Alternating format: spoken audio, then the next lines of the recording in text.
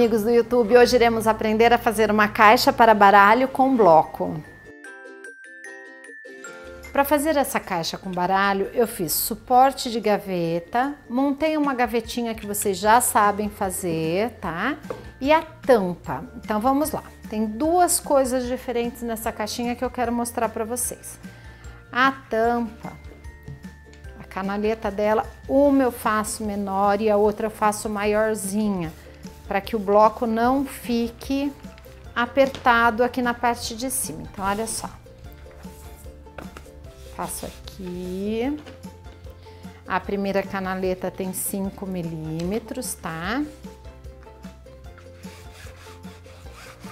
Escolhi um tecidinho vermelho e verde que é para combinar com a mesa de baralho que o feltro é verde, gente.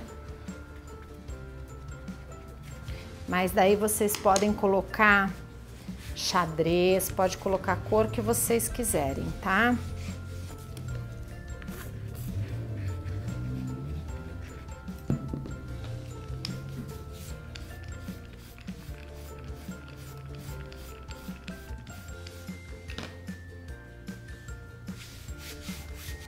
Aí eu viro, corto as quatro pontas.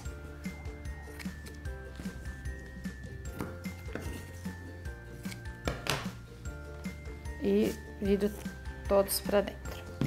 Segunda lombada, eu fiz mais ou menos com um centímetro, para que ela tenha o espaço para encaixar o bloco.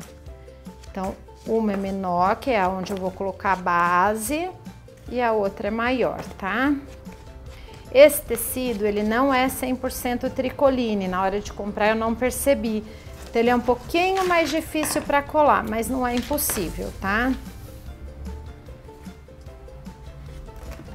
Só puxar um pouquinho mais e ele segura um pouquinho mais quando vocês comprarem algum tecido que não não é 100% tricoline que dá certo.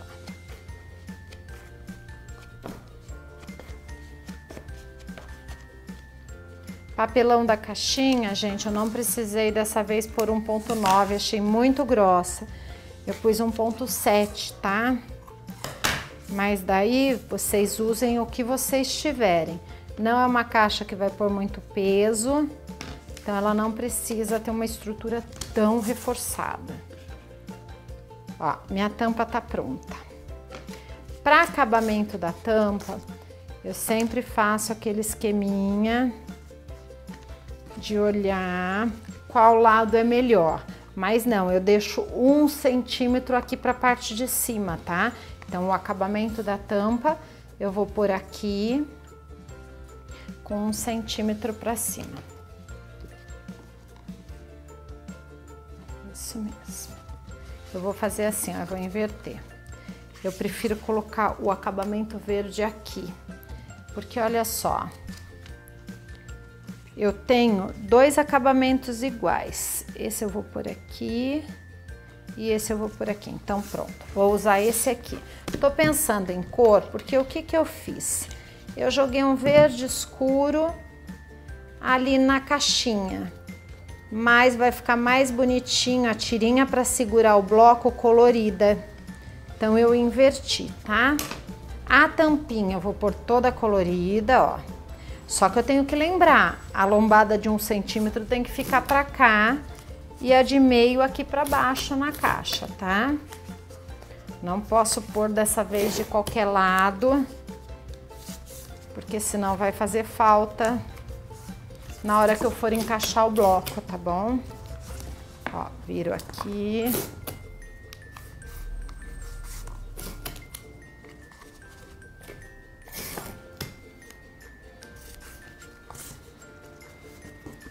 Agora essa abinha aqui, ó. Posso passar o, pincel, o rolinho sujo, só puxo. Então, nossa tampa ficou pronta. Eu reservo ela aqui. Aqui, nesta parte aqui, que eu tenho o suporte de gaveta, eu tenho que colocar laterais, porque a hora que ele vier aqui, ele vai aparecer aqui e aqui. Então, olha só. Eu virei só na frente e encaixo aqui, ó. Daí, ó, já passo aqui, já passo aqui, já passo aqui.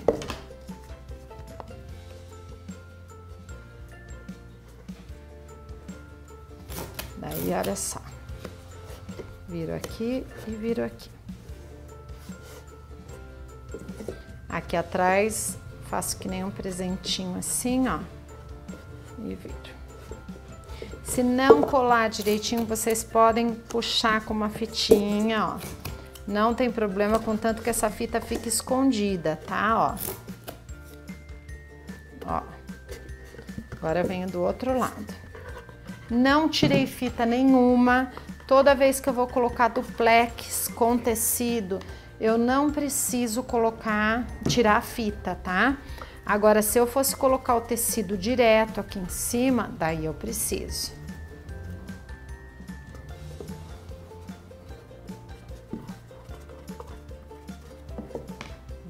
Aqui, ó. Já sujei nas laterais, então já desço, ó.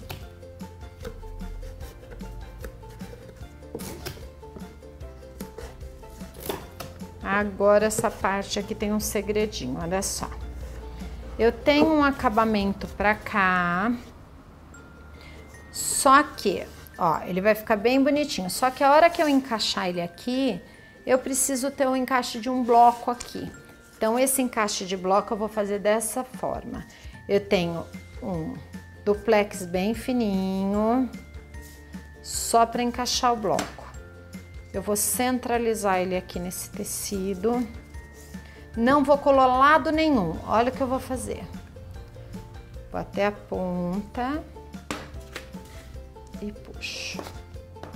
Aí põe um pouquinho para dentro, um pouquinho para dentro. Daí venho até a ponta. Passo no tecido também, tá, gente? e puxo só um pouquinho para dentro as pontas. Então, eu fiz uma tirinha, ó, que eu vou colar aqui. Então, olha só o que eu fiz. Esse colar aqui, eu tenho que virar as pontas para cá. Mas eu não posso colar aqui, porque ele tem que ficar com encaixe para bloco. Então, vou virar, vou centralizar onde eu quero, passo cola aqui e aqui. Olha só ponho fita para segurar as bordas. Daí sim esse acabamento vem aqui e eu viro ele aqui para trás, tá? Então olha só. Toda vez que vocês quiserem fazer caixa para encaixar bloquinho em cima, para o lado do telefone, para guardar coisinhas em escritório, ou até mesmo essa para guardar baralho, tem que ser feito dessa forma, tá, gente? A tampa francesa, o encaixe de gaveta, a gaveta e aqui em cima essa fitinha ou faixinha, do jeito que vocês preferirem, ó, para encaixar o bloco.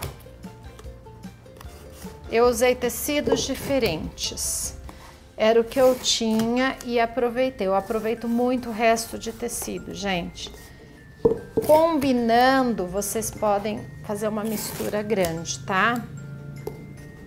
Porque nesse tecido vermelho tinha todas essas cores, então, ó, passo cola aqui e abaixo. Daí o que que eu vou fazer, ó? Cola vem aqui no fundo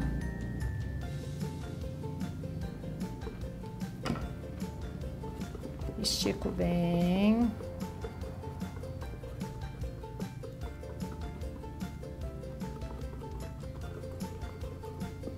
Deixo excesso, porque é papelão com papelão, ó. Daí, olha só o que eu vou fazer. Eu vou ver se ela tá bem centralizada, ó. Centralizei. Fita de cima até aqui embaixo, ó. Essa é não é muito grande, eu consigo segurar na mão para mostrar para vocês, ó. Dos dois lados, gente.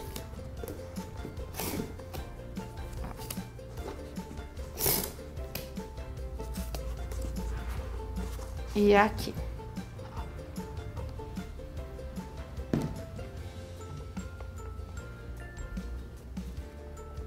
Bastante cola.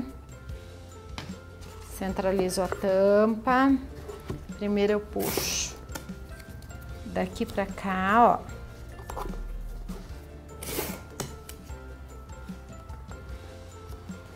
Depois eu puxo aqui.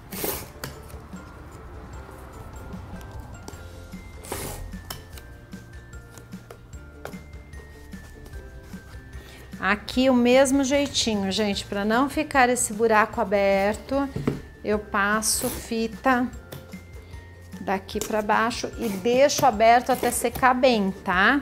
Não fecha essa tampa, porque senão ela vai ficar com um buraquinho. Olha só, encaixe para gaveta, para pôr o baralho e aqui a tampinha. Aqui eu vou encaixar, opa, aqui eu vou encaixar o bloco. Espero que vocês tenham gostado. Inscrevam-se no nosso canal, deixem seus likes, recados. Beijos e até a próxima.